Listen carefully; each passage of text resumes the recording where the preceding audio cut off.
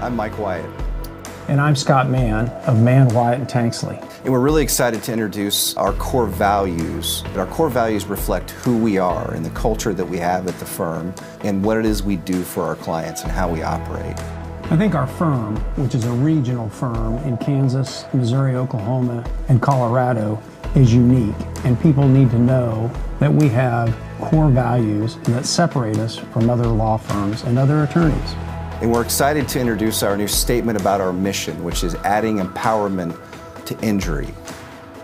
That's really important to us because it captures the core of what we are. Because so many of our clients feel like they don't have power because of their position in a case and because of their lack of knowledge or because they're dealing with an insurance company that has a lot of resources and a lot of experience. What we bring to the table is exactly that. We add empowerment to their injury.